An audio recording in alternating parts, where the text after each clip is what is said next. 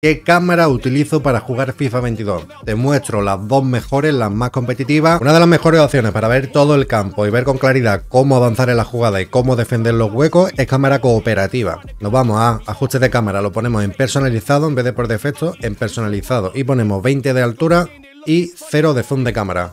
Estamos viendo aquí al completo todo el campo. Esto es una maravilla. Esta cámara también decirte que se ve un poco más lentito, como tiene que cargar tantas texturas, es como que va un poquito más lento. Entonces, si tienes mala conexión, encima te va a favorecer. Mira, por ejemplo, cómo vemos allí en banda a este tío. Mi favorita para regatear es cámara grúa, en personalizado y lo ponemos exactamente igual, 20-0. Vamos a perder la visión de la parte de abajo del campo, pero es mucho más rápida para atacar a la hora de, sobre todo, regatear, porque vamos a ver exactamente la altura y la distancia en la que se encuentran los rivales. Y cuando centremos, pues también vamos a estar mucho más cerquita. Por cierto, en Latinoamérica se llama Transmisión TV,